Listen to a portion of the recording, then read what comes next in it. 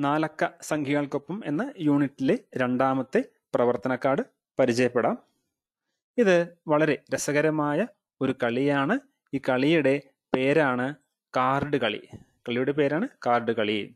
അപ്പോൾ ഈ കളി കളിക്കാൻ രണ്ട് മൂന്ന് നാല് ആറ് അല്ലേ? ഈ കളിയിൽ നമുക്ക് ഒന്നുകിൽ രണ്ട് പേരെ കൂട്ടി കളിക്കാം അല്ലെങ്കിൽ മൂന്ന് പേര് നാല് പേര് ആറ് പേര്. ഈ തരത്തിൽ ആളുകൾക്ക് ഈ കളിയിൽ പങ്കെടുക്കാവുന്നതാണ്.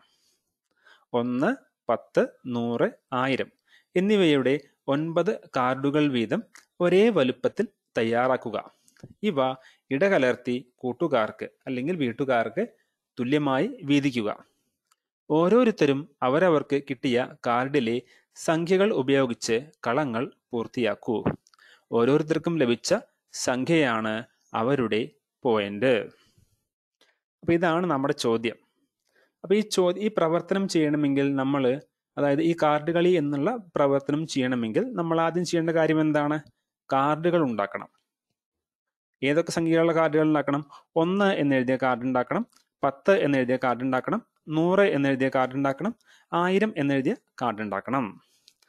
ഇതിൽ നമ്മൾ ശ്രദ്ധിക്കേണ്ട കാര്യം എന്താണ്? ആ ഓരോ കാർഡും ഒൻപതെണ്ണം വീതം ഉണ്ടായിരിക്കണം. അതായത് ഒന്ന് എന്നെഴുതിയ ഒൻപത് കാർഡുകൾ പത്ത് എന്നെഴുതിയ ഒൻപത് കാർഡുകൾ നൂറ് എന്നെഴുതിയ ഒൻപത് കാർഡുകൾ ആയിരം എന്നെഴുതിയ ഒൻപത് കാർഡുകൾ ഉണ്ടായിരിക്കണം. ഇനി അടുത്ത നമ്മൾ ശ്രദ്ധിക്കേണ്ടത് എന്താണ്? ആ ഒരേ വലുപ്പത്തിൽ തയ്യാറാക്കുക. കാർഡുകളെല്ലാം ഒരേ വലുപ്പത്തിലായിരിക്കണം. എന്തിനാ അറിയോ ആരും കള്ളത്തരം കാണിക്കാതിരിക്കാനാണ്. അപ്പൊ നമ്മൾ എത്ര കാർഡുകൾ ഉണ്ടാക്കി? ആ ഒന്നിന്റെ ഒൻപത് കാർഡുകൾ പത്തിന്റെ ഒൻപത് കാർഡുകൾ നൂറിന്റെ ഒൻപത് കാർഡുകൾ ആയിരത്തിന്റെ ഒൻപത് കാർഡുകൾ. ഇനി നമ്മൾ എന്ത് ചെയ്തു? ഈ കാർഡുകളെല്ലാം ഒരേ വലുപ്പത്തിലുള്ള കാർഡുകളെല്ലാം ഇടകലർത്തി കളിക്കുന്ന ആളുകൾക്ക് തുല്യമായി വീതിക്കുക. അപ്പോൾ ഒരു കാര്യം ചോദിക്കട്ടെ? ഇവിടെ ചോദ്യം കണ്ടോ? രണ്ട് മൂന്ന് നാല് ആറ്. അല്ലേ?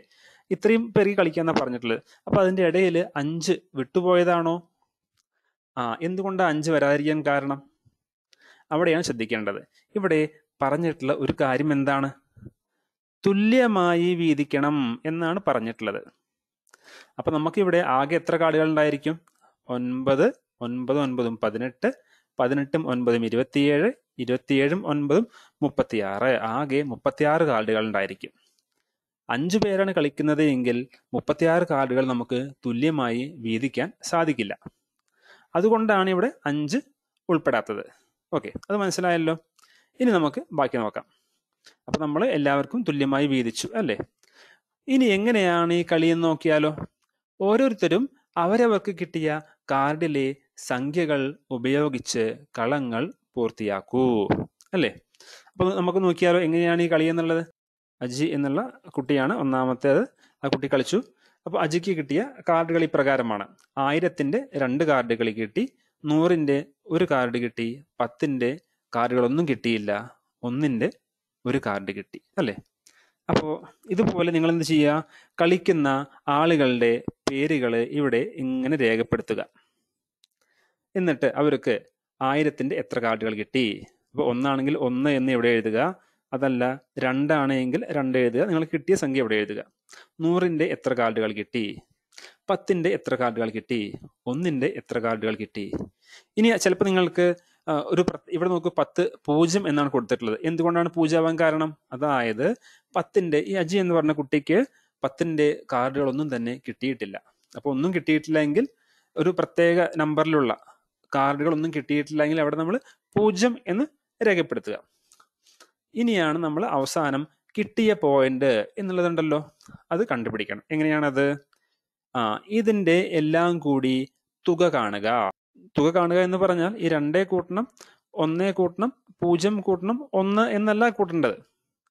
ആയിരത്തിന്റെ രണ്ടെണ്ണം. അപ്പൊ രണ്ട് ആയിരങ്ങളായി. അപ്പൊ എത്ര വരുമെന്ന് മനസ്സിലാക്കുക. ഒരു നൂറായി. അപ്പൊ എത്രയും മനസ്സിലാക്കുക. പത്തുകളില്ല ഒരു ഒന്നായി. അപ്പൊ രണ്ട് ആയിരം. അതേ കൂട്ടണം ഒരു നൂറേ കൂട്ടണം ഒരു ഒന്ന്. അതെല്ലാം കൂടി കൂട്ടുമ്പോൾ എത്ര കിട്ടി? അതാണ് ഇവിടെ എഴുതേണ്ടത്. അപ്പൊ അങ്ങനെ ഓരോ ആളുകളുടെയും പേര് ഇവിടെ എഴുതുക. അവർക്ക് കിട്ടിയ പോയിന്റുകൾ ഇവിടെ എഴുതുക. എല്ലാം കൂടി കൂട്ടി ആകെ കിട്ടിയ പോയിന്റുകൾ കണ്ടുപിടിച്ച് അവസാനത്തെ കോളത്തിൽ എഴുതുക. അതാണ് നം ഇനി നോക്കൂ. അപ്പോൾ അങ്ങനെയെല്ലാം നമ്മൾ കണ്ടുപിടിച്ച് കഴിഞ്ഞു അല്ലേ? ആകെ കിട്ടിയ പോയിന്റ് ഓരോരുത്തരും കിട്ടിയ പോയിന്റ് നമ്മൾ കണ്ടുപിടിച്ച് കഴിഞ്ഞു. ഇനിയാണ് അതിന്റെ അടുത്ത ചോദ്യം. എന്താണത്? ഏറ്റവും കൂടുതൽ പോയിന്റ് കിട്ടിയത് ആർക്ക്? അപ്പൊ നമ്മളിവിടെ ഓരോ കുട്ടിയുടെയും പേരുകൾ എഴുതി അവർക്ക് കിട്ടിയ പോയിന്റ് കണ്ടുപിടിച്ചു. അതിൽ ഏറ്റവും കൂടുതൽ പോയിന്റ് കിട്ടിയത് ആർക്ക്? എന്ന് ആ ആളുടെ പേരാണ് ഇവിടെ എഴുതേണ്ടത്. അപ്പൊ ഏറ്റവും കൂടുതൽ പോയിന്റ് കിട്ടിയ ആളുടെ പേര് ഇവിടെ എഴുതുക. എത്ര? അതായത് അയാൾക്ക് എത്ര പോയിന്റ് കിട്ടി എന്നുള്ളതാണ് ഇവിടെ എഴുതേണ്ടത്. ഒന്നുകൂടി പറയാം.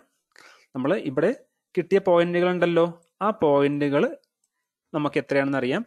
ഇവിടെ നമ്മൾ പേരുകളുണ്ട് ഇവിടെ പേരുകൾ എഴുതി അവരുടെ പോയിന്റുകൾ നമ്മളിവിടെ ആകെ കണ്ടുപിടിച്ചു.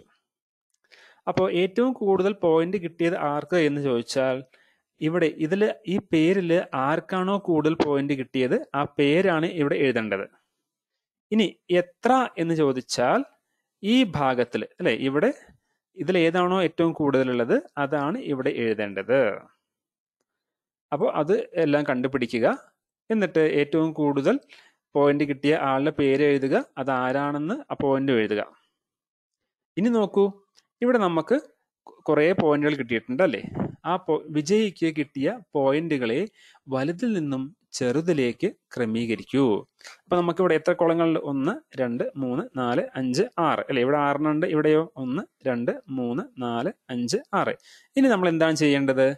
ആ വളരെ എളുപ്പമാണ്. ഇവിടെ കിട്ടിയ പോയിന്റുകൾ ഉണ്ടല്ലോ.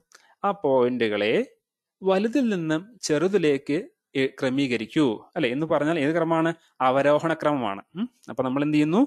ഈ കിട്ടിയ പോയിന്റുകളെ വലുതിൽ നിന്ന് ചെറുതിലേക്ക് എന്ന ക്രമത്തിൽ എഴുതുന്നു. ഏറ്റവും വലുതാണ് ഇവിടെ എഴുതേണ്ടത്. ഏറ്റവും വലുത് ഇവിടെ എഴുതുന്നു. ഏറ്റവും ചെറുത് ഇവിടെ എഴുതുന്നു. ബാക്കിയുള്ളത് ഇങ്ങനെ ക്രമത്തിൽ നമ്മളിവിടെ രേഖപ്പെടുത്തുന്നു. ഏറ്റവും കുറച്ച് പോയിന്റ് കിട്ടിയ ആളാണ് അടുത്ത കളിക്കായി കാർഡുകൾ ഇടകലർത്തേണ്ടത്. കളി തുടരുക. അപ്പൊ ഇങ്ങനെ ഒരു തവണ കളിച്ചു കഴിഞ്ഞാൽ പിന്നെ നമുക്ക് എന്ത് ചെയ്യാം? ആ വീണ്ടും വീണ്ടും ഈ കളി ആവർത്തിക്കാവുന്നതാണ്.